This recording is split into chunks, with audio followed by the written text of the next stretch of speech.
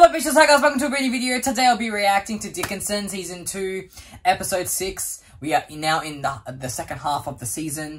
Um, in the last episode, Emily had a hallucination of having sex with Sam. And I don't trust Sam, and I just think Sam is using her. I just get the worst vibe from him. I, he, you know, he sleeps around, blah, blah, blah. Is his wife even real? I don't know. But Emily was started to write a letter to Mary, the wife. And she had hallucinations of her having sex with him.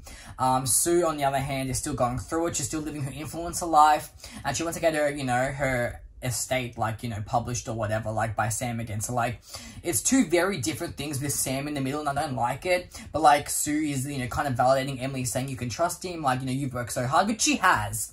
But, like, we just don't know, I, I feel like we don't know that Sam has ulterior motives you know, which could probably harm Emily and maybe Sue in the process. So I'm a bit stressed about that. Um, so look, bitch, it's been a minute, okay? I just, I just want Sam out of my face. I just, every time he's on the screen, I, I'm just like, no, like, no sir, no deal, bitch. Like, get off my screen. I, I can't.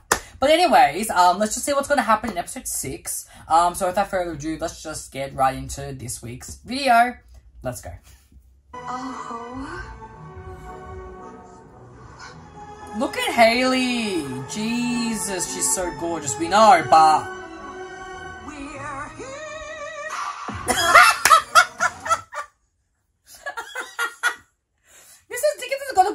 good voice on her. She could be a singer, man.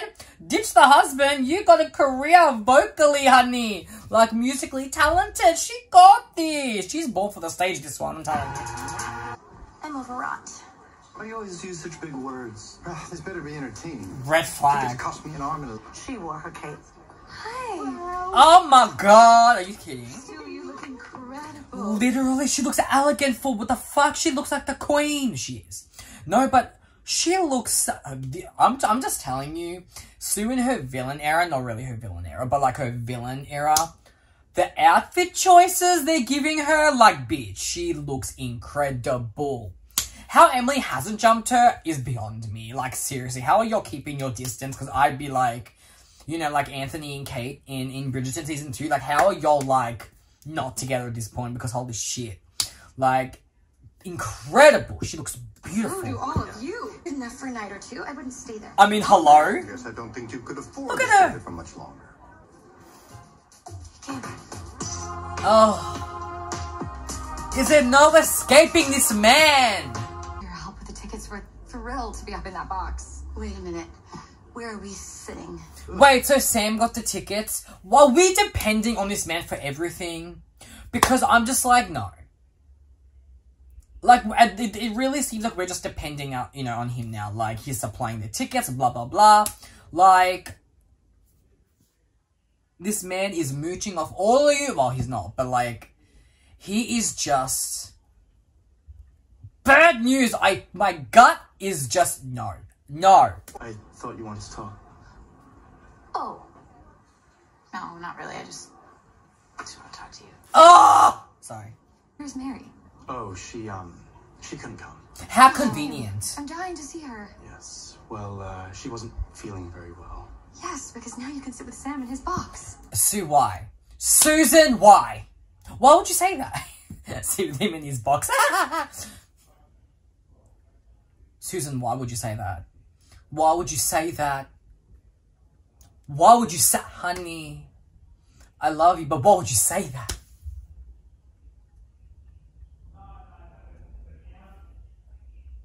This may be the episode. This may be the episode where I break and I'm just like, I can't watch him anymore. I may break, I don't know, but like, why? You know? This is the opportunity of a lifetime. I mean, it Especially for such a sensitive artist as Emily. But like, If she's down there all the way in the back, she won't even be able to see. Remember, she has eye troubles. sorry, it's not funny. I suppose there's no point in having an empty seat. Not her using her eye trouble against. I'm sorry, that just caught me a bit off guard. She got she has eye trouble. Why is Sue so adamant on having this work out? Like, Sue's not, I don't, I don't want to say forcing it, but she's like, you know, it seems to be like she's the number one stan, apparently, of, of Emily and Sam. Like, I'm just like, girl, why? Like, I, I know she wants Emily to thrive and do well, and, you know, Sam's the key, whatever, I get it. But, like, I'm just like, honey, no. Like, cut the cameras. Can't wait to hear this Adelaide May sing tonight. Maybe it was his plan to get her up there really by herself. chops. Hmm. Oh my god, Sue's. Oh, look. Hey, Mom. But did you see that Sue was like sitting across from her, like on the other side? I know it's it, it's in my head that that's romantic. Okay, in my head that's like the romantic. She's all across the room. I'm not okay. I'm taking my crumbs. Frazar, my old buddy from school. Great guy, son of the college president. Okay, cool. You must remember him. We used to have such good times. You still have good times, don't you? Ooh, careful. It will never become part of their soul. Cool. I really love Vinnie. gotta take a piss. This man is so uninterested. Like really. Vinnie, no, this man is not for you. And well, she knows that. She didn't want to marry him anyway, so it's not her fault. She got trapped into it. But like, he just really does not give two shits about her. Like, yeah, he wants to marry her, but like, for what? Because he wants an obedient wife. Like, that's literally all he wants. Like, so no. Like, he doesn't listen to what she says. Like, if you really love her, you would pay attention to her. The fuck's this bullshit? I'm not surprised. So many of my dreams have come true since I met you. Before I met you, I was nobody. Don't say that. Now, now my poem will be published. No, but I don't like her talking like that because like she wasn't nobody before he she met him. But how interesting she says nobody. In, remember nobody? Interesting that she says that. But like before she met him, yeah, she wasn't up. She wasn't going to be a published writer, but like, or so a published poet. But she was still Emily Dickinson. Like she was still her own person. You know. And yeah, he's changed. He got things into gear, whatever. But she shouldn't lose sight of who she is just because of one man. You know. Like, don't lose who you are. Like, maybe she got lost, remember? Like, she still got to find herself because he, this man, mm, I don't know. Emily, we have a problem. What? We do? Do you You wrote a letter to Mary, and it made her feel extremely uncomfortable. Both of us, I should say, it made both of us uncomfortable. What the fuck?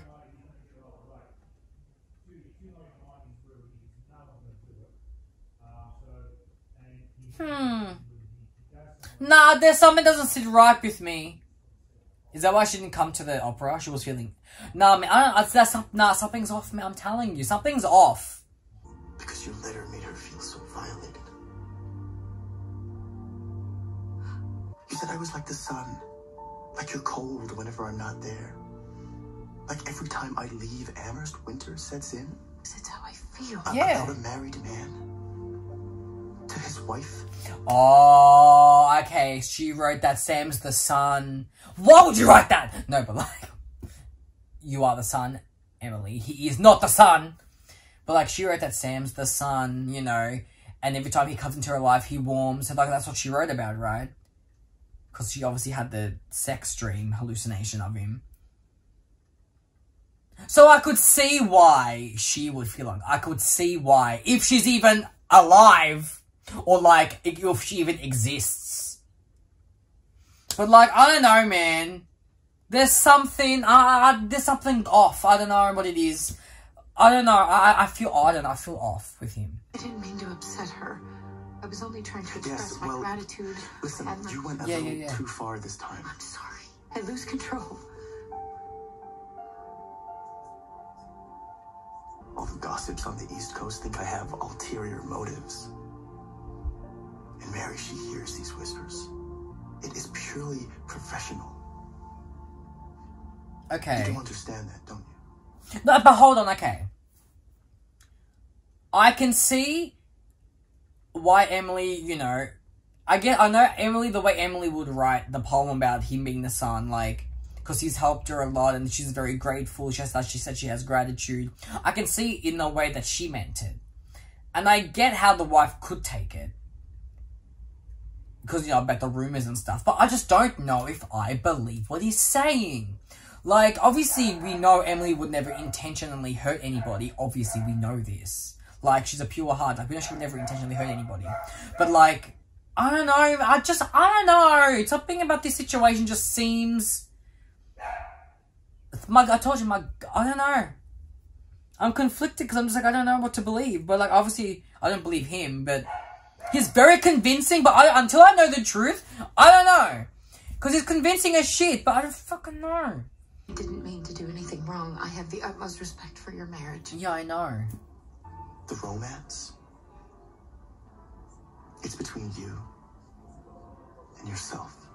Okay. I don't know. I don't know. Like, I feel like she never even really, she never thought of him in that romantic way anyways, until, like, the last episode when, like, she had the hallucination about him. But, like, don't just, I don't know, just hearing all the rumors and stuff, it's kind of like, she's like, why is that why he likes me? Because of all the poetry. And I don't know, it's, it's very, but I, I, I, I don't trust him. I'm still gonna stick to my gut in saying that I don't trust him.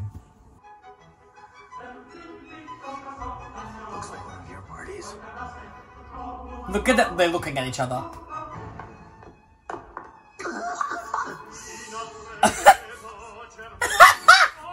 Mrs. Dickinson. Oh, really, sir? Now? Like, okay, you're bored. Okay, that's fine. But, like... Really? Like, really? Okay. I told you, red flag, man, all over. She's riveting, isn't she? I saw that look. So, oh, they're holding him. I saw that look, bitch. I'm faithful to my wife. And then he fucking says to Emily like that. And then they're gonna, don't. Oh, bitch. Bitch, bitch. I have to go. What? Okay, What? T. I shouldn't have come. I have something for you. Oh, no.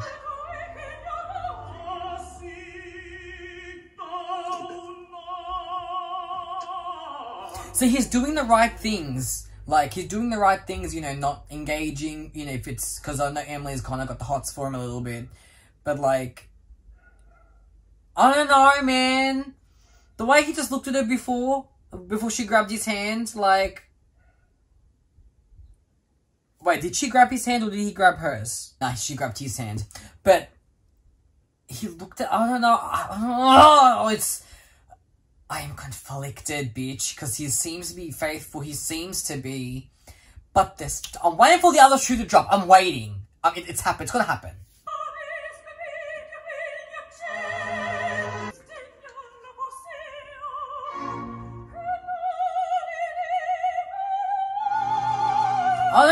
Her feeling like this because. I don't know, man. Oh, she's envisioning that she's singing her poem. Oh, Sue! It's Sue! It's Sue! It's Sue, bitch. It's Sue. I just realized. I was like, oh! Not Sue singing her poem. Fine, bitch. oh, Oh, she's such a great singer. Oh, sorry. Oh, my God. Didn't expect Sue to be singing her poem. But here we are.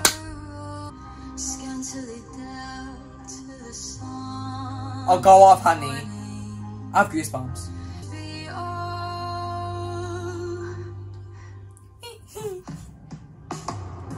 Let's see, she wrote that about Sam, but maybe it's her true feelings about Sue still. I don't know, because remember she always writes about Sue, kind of.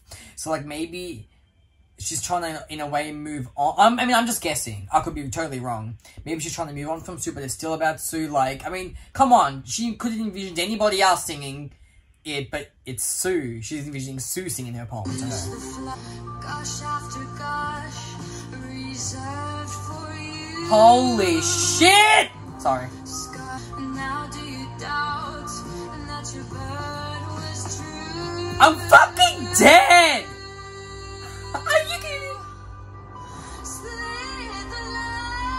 Line. No, man! Ella Hunt! Where is her standing ovation?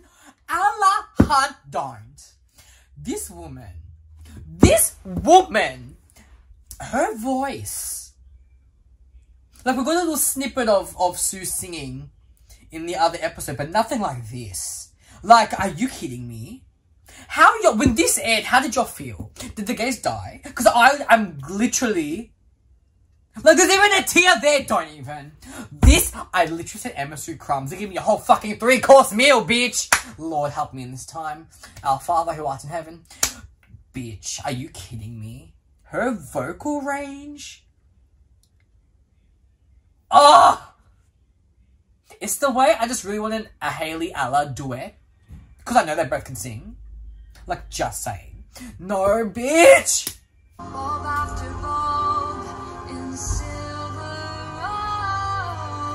I'm actually having a heart attack. To Sue! To Sue! To Emisue! Oh my god.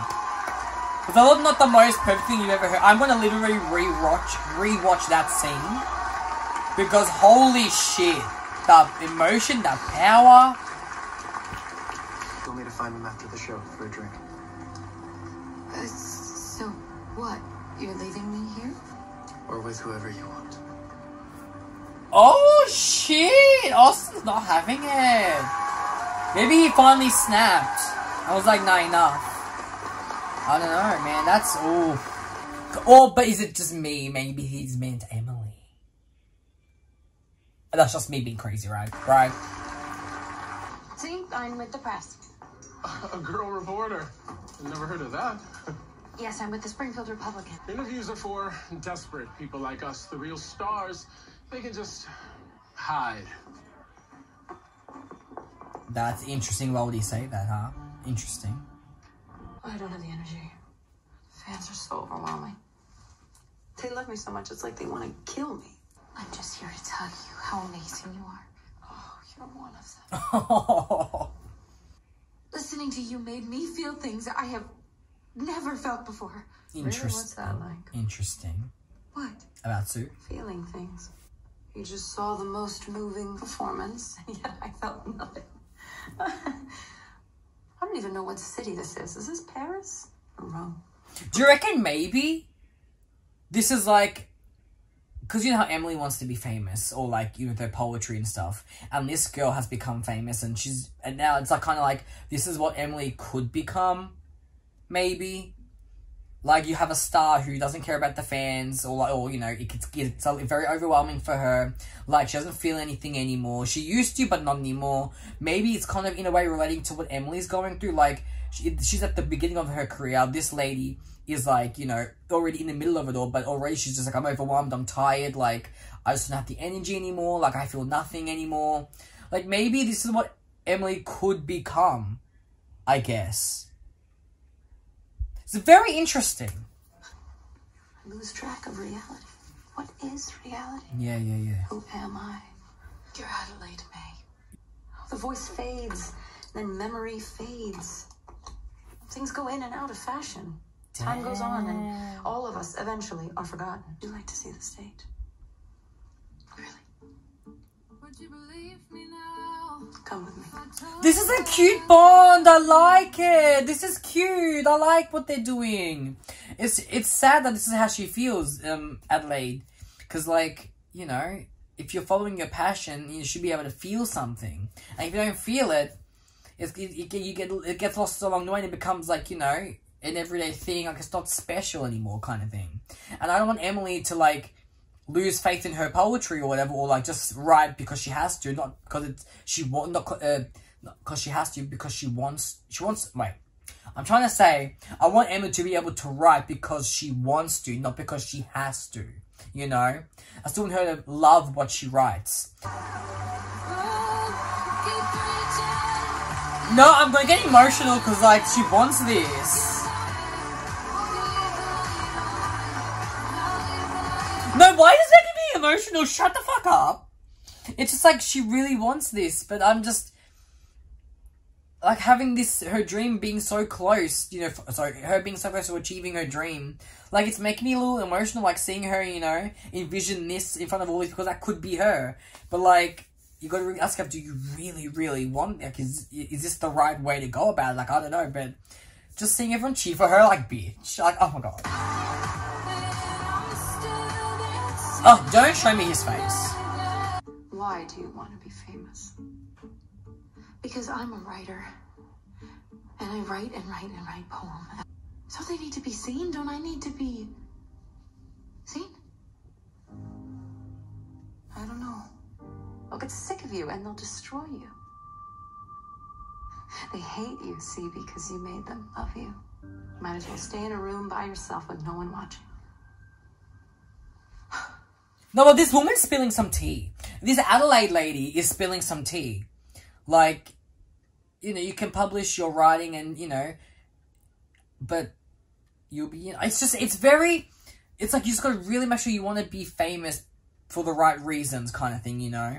And yeah, Emily deserves to have her poetry out there because she's talented and she deserves to have everyone read her poems and feel what Sue feels in a way. I know it's a little bit different, but you know what I mean.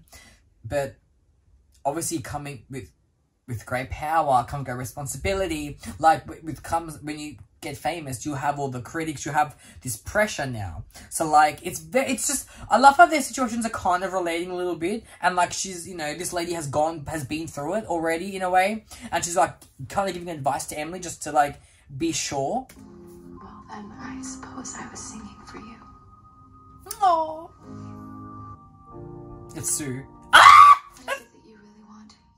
What did she say? What did she say? What is it that you really want?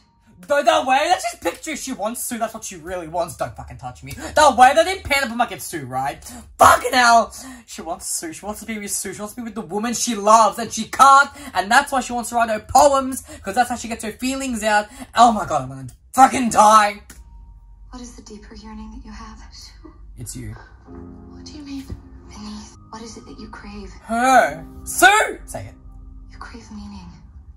You crave beauty. Oh my god. The fuck! This is what the I did not expect. I know it's not really Sue, but it's Sue. I don't give a fuck. You can say it's a lay. I don't give a fuck. She's. Mm. No, but this is true. She's fake. Sue is asking the real questions. You crave love. Yes! Ah! Shut up! Shut up! Ah! Sorry. I'm okay. They haven't kissed in so long. I'm sorry. They haven't kissed in so long. I feel like I've been freed. Shit. My crumbs became a three course fucking meal. Can we just watch it again? Oh, yes! Exactly! Exactly! Sorry.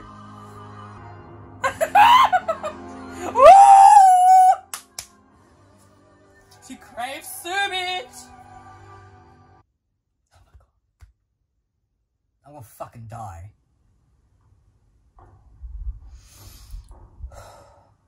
That was a lot. Hey, what are you doing there? No, but did you see? She's kissing Sue, right?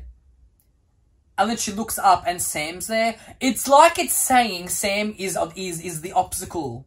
Is one of the obstacles.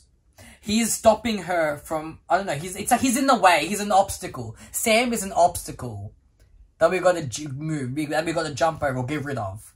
Like maybe he's stopping Emily from what she really wants. I don't know. But it just seemed funny. She's kissing Sue, and then like she looks up and Sam's there, and then Sue's gone. It's kind of he's he's he is cock blocking my Emisue.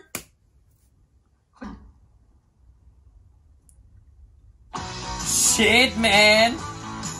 I mean, listen, the Emisue kiss, it wasn't even really Sue, but it was. In my head, uh, look, it was it was beautiful. It was, and I've been craving Emisue content for a while, like just them two. Like you know, we got in the first episode, we haven't had like a proper can scene, you know. But oh my god, that kiss, oh bitch, it made me feel things. Oh my god. Under all that fame, she wants she craves love. Oh my god. I still am thinking about that fucking kiss scene. I can't. That was one of my favorite things I've ever seen in my life. Like you crave meaning, you crave beauty, you crave love, and then like they. Oh my god, it was beautiful. I don't care. It was beautiful, man, and like. What she really wants is Sue and her love. And she can't express her love in any other way other than her poetry. And the only reason or the only way Sue can see her writing is if she publishes it or whatever. Like, I'm just saying shit. I could be totally wrong, but this is what I'm thinking. Like, she, because she can't be with Sue, she got to find a way to be with Sue in another way. And like, it's, it's just, it's, it's so, well, it's so good. It's so good that you just, that scene, man, I'll be watching that on repeat, bitch. Play that at my funeral, literally. Like, it's just, it's perfect. It's perfect. Sue's what she really craves this whole time. Like, she doesn't crave him. It's Sue. Love. That's what it is. Again, like Sue's masking her emotions, so is Emily in a way. It's different, but, like, you know, they're both kind of masking their true emotional, how they really feel. Kind of. So I love parallel. I love when they do shit like this. This is why they're meant for each other. I'm sorry. This is beautiful. Anyways, love the episode. Love that for me. Like, first of all, it was the way that her Emily looked at you across the the box. You know, across the uh, across the opera, whatever. Um, and then it was Sue singing, or her, sorry, Emily envisioning Sue singing her poem to her because it was, you know, obviously was her feelings for Sam, but maybe was really her feelings for Sue, you know? And maybe she's just trying to use Sam to, like, replace Sue in a way, because, I don't know. Because he can give her things that she wants, but what she really wants is Sue. It's very complicated, but you know what I mean. You, you get me? Like, it's just, oh my god, there's so much meaning behind this shit. But, like, oh my god, that was beautiful. Anyways, I'm gonna pass out now. So, that was my reaction to episode 6. What did you guys think? Let me know in the comments below, and I'll see you guys for the next one. I love you all, and ciao for now. Bye, guys.